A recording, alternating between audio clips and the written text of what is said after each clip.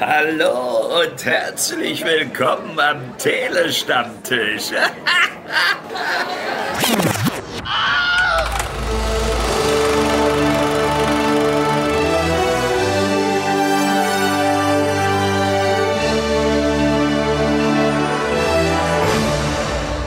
Hallo, willkommen beim Telestammtisch zur Besprechung des Films Green Border, der am 1. Februar in den deutschen Kinos startet. Ein Film, der schon längere Zeit im europäischen Kino, vor allem im Festivalkino im Umlauf ist und jetzt halt endlich den Weg nach Deutschland gefunden hat. Ich konnte ihn noch nicht sehen. Hi, ich bin es du, aber der Dom hat ihn gesehen. Hallo Dominik. Hallo, guten Abend auch. Ich kann kein Polnisch und deshalb spare ich mir das auch, irgendwas auf Polnisch zu sagen, außer vielleicht den Namen der Regisseurin. Der Name der Regisseurin, das mich jetzt versuchen, ist Agnieszka Holland, oder? Ist, glaube ich, sogar richtig ausgesprochen, ja. Aber äh, da ich Ja. nicht mal annähernd Pole bin, ist das mit Vorsicht zu genießen, wie ich das äh, bestätigen kann. Ich will ehrlich sein, ich finde es lustig, dass die Frau Holland mit Nachnamen heißt und nicht aus den Niederlanden kommt, aber es ist meine Art von Humor, muss nicht eure sein und deswegen, ja, kehren wir mal äh, den Teppich rüber und reden über Green Border. Ich sagte schon bereits, der Film äh, hatte seine Premiere gefeiert in letztes Jahr bereits bei dem Filmfestspiel von Venedig und hat dort auch den Spezialpreis der Jury bekommen, was immer ein guter Indikator dafür ist, dass der Film auch irgendwann zu uns kommt und jetzt nach, ja, ich würde sagen, knapp acht, neun Monaten hat er es dann endlich geschafft. Am 1. Februar ist es Mhm. Dominik, kannst du uns eben kurz erklären, worum geht es in The Green Border? Ja, äh, in The Green Border geht es, wie der Titel schon sagt, äh, um die grüne Grenze beziehungsweise das äh, Grenzschutzgebiet äh, zwischen Polen äh, und Belarus und dann eben auch anschließend daran Schweden äh, und eben die äh, ja, Verhältnisse dort, äh, die ja nicht erst seit kurzem schlichtweg katastrophal sind. Und äh, das Ganze wird geschildert äh, als Rückblende äh, in das Jahr 2021, wo mehrere Flüchtlinge oder beziehungsweise Geflüchtete, muss man ja eher sagen, aus Syrien, Afghanistan und so weiter äh, erst am Flughafen ankommen und dann auch denken, dass sie relativ schnell äh, von äh, Belarus, also vom belarussischen äh, Flughafen, übersetzen können nach Polen. Allerdings, ja, stellt sich das Ganze als nicht halb so äh, glorreich raus, wie sie sich das gedacht haben. Äh, und sie werden dann zum Spielball von Grenzbeamten, Schleppern etc. Äh, man muss allerdings dazu sagen, dass Agnieszka Holland, Holland das Ganze äh, aus mehreren Perspektiven erzählt. Zum einen aus der, der dieser äh, geflüchteten Gruppe, zum anderen aus der von Aktivisten, aber auch der von den Grenzbeamten beziehungsweise einem der äh, ja am Anfang noch relativ hinter dem steht, was er da tut und irgendwann dann Schwierigkeiten hat, äh, noch in den Spiegel zu schauen. Okay, das klingt nach hartem Stoff, das klingt vor allem nach sehr viel.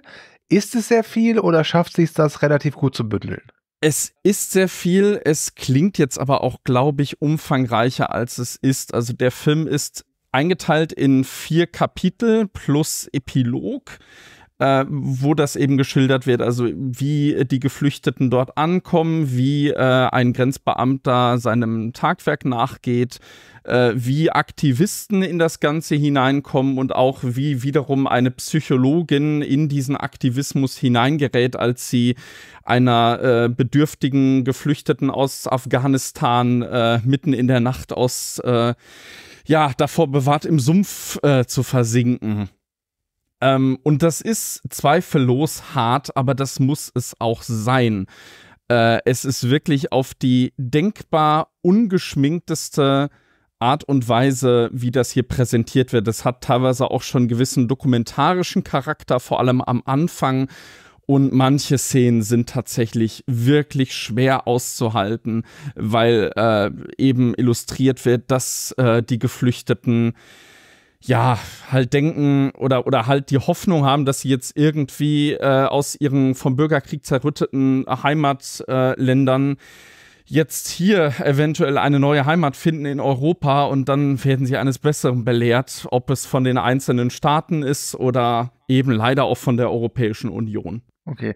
Kann man schon sagen, dass Green Border sich auch vielleicht so ein als politisches Statement versteht, als Kommentar zur aktuellen Flüchtlingssituation oder entzieht sich der Film eher dieser Position?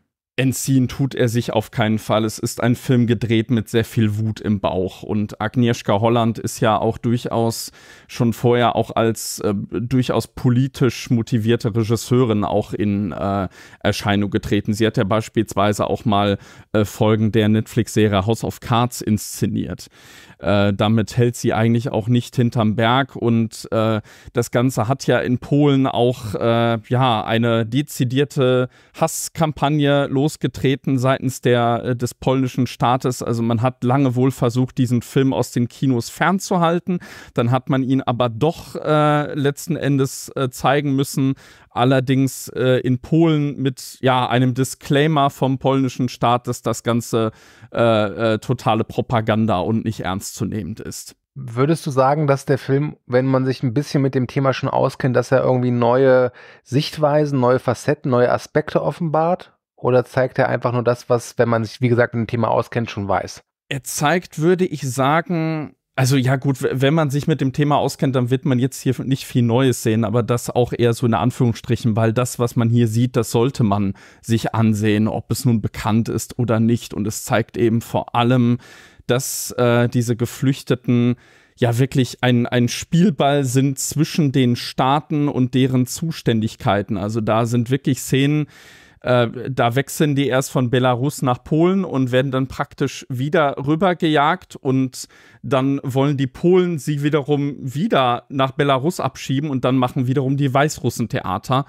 Und hinzu kommt auch noch, dass die Grenzschutzbeamten ja äh, auch generell ihre Spielchen mit denen treiben. Die werden zwar nicht jetzt als alle total äh, als äh, alle als totale Arschlöcher illustriert, aber da gibt es halt welche, die äh, ähnlich auch wie Schlepperbanden deren Not ausnutzen. Also da gibt es zum Beispiel eine Szene, wo äh, einer Geflüchteten irgendwie für eine Flasche Wasser 50 Euro abgeknöpft werden sollen und dann nimmt man ihr die Flasche doch wieder weg und verkippt sie einfach.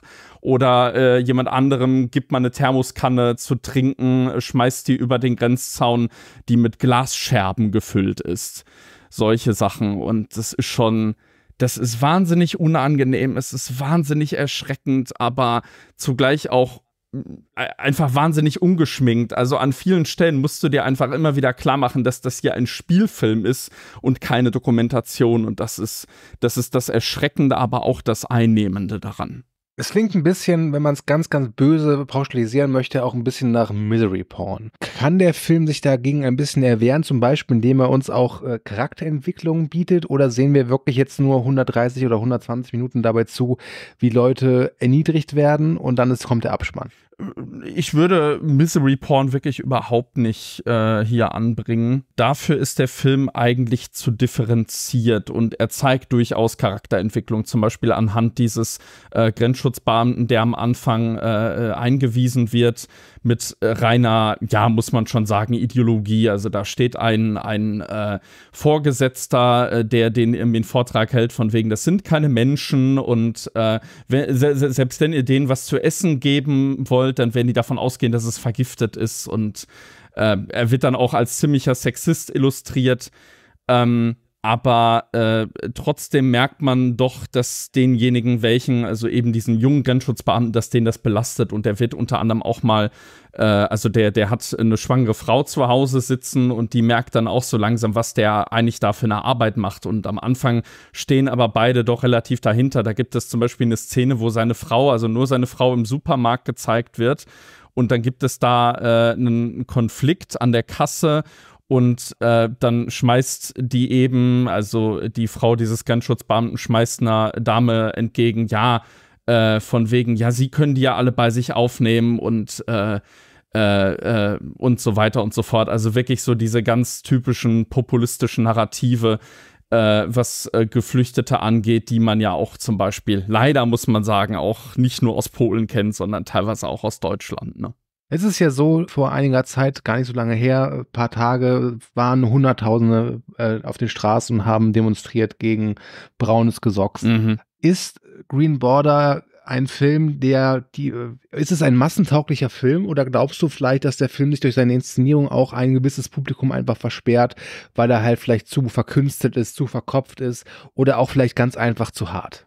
Also als zu verkopft würde ich ihn nicht bezeichnen. Er hat eben verschiedenste Blickweisen, ist aber eben auch nicht an die breite Masse gerichtet. Das fängt schon damit an, dass äh, äh, eine gewisse Distanz zu den Bildern eigentlich nur dazu aufgebaut wird, dass das Ganze in Schwarz-Weiß ist und zwar durch die Bank.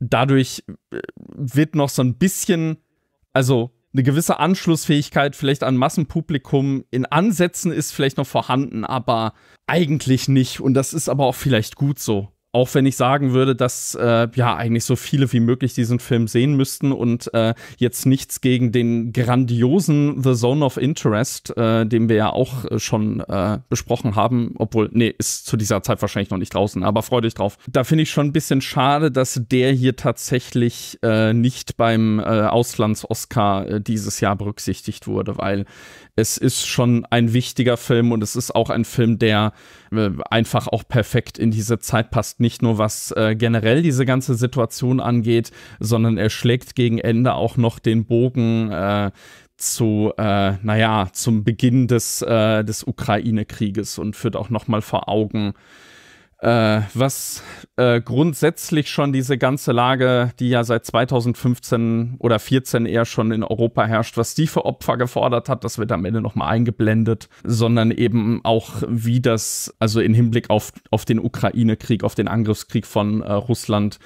inwiefern das nochmal auf eine neue Ebene gehoben wurde. Gibt es denn eigentlich so, also du hast schon gesagt, es sind viele Figuren drin, aber gibt es so eine Art äh, ja, charakterlichen Fixpunkt, auf den man sich als Zuschauer einlassen kann? Oder ist es einfach so ein Wüst aus ganz vielen Figuren, ohne dass man jetzt wirklich sich jemanden rauspicken kann, wo man sagt, okay, das ist eine, ich nenne es mal ganz grob eine Identifikationsfigur? Also eine Identifikationsfigur ist am allerersten noch diese Psychologin Julia, äh, die äh, wird am Anfang mit ihrem eigenen Handlungsstrang eingeführt, der dann eben mit äh, dem um äh, verschiedene Grenzeraktivisten verknüpft wird äh, damit kann man noch am ehesten connecten, würde ich sagen. Also man versteht auch äh, ihre Antriebe und wie sie da auch erst hineingezogen wird und letzten Endes auch aus ihrem relativ ja, ich will jetzt nicht sagen, die ist jetzt zwar nicht reich und gut betucht, aber die führt schon ein äh, relativ gutes bürgerliches Leben und wird dann da eben auch herausgerissen. Ne? Und ich glaube, damit kann man sich schon irgendwo identifizieren und dass dann da auch ein gewisser Idealismus äh, äh, wahlweise Einzug hält oder durchbricht.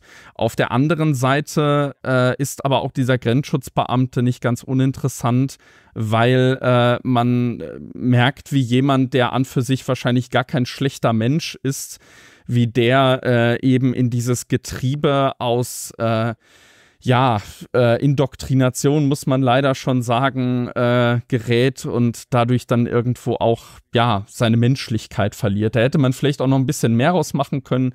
Was ich generell ein bisschen schwierig finde von der Erzählweise her, ich hatte ja schon gesagt, vier äh, äh Episoden sind das praktisch, die dann so ineinander äh, fließen nach und nach. Ähm, ich hätte, glaube ich, äh, also das mit der Psychologin, das hätte vielleicht ein einzelner Strang für sich sein können und die Aktivisten hätte man, glaube ich, nicht vorher nochmal, äh, also die, die werden halt vorher eingeführt und sie dann erst später und eigentlich ist das ja letzten Endes äh, dieselbe Storyline, wenn man so will. Aber auf der anderen Seite wollte man wahrscheinlich dieser Julia auch noch ein bisschen mehr ja, Platz einräumen. Man sieht zum Beispiel auch mal kurz, äh, was sie für ein äh, Verhältnis auch zu ihrer Mutter hat und die hat dann auch ganz große Berührungsängste, äh, über ihr bürgerliches Leben hinaus aktiv zu werden. Also von wegen, ja, also ich, ich habe ja da und da gestanden vorm Gericht mit Kerzen und protestiert, aber wirklich jetzt ins Grenzschutzgebiet, in die Sperrzone will ich mich dann doch nicht begeben und ich will auch nicht, dass du mir diese Videos zeigst und so weiter und so fort. Klingt ein bisschen danach, als ob Green Border vielleicht auch große Teil des Publikums vielleicht auch ein bisschen überfordern könnte, oder?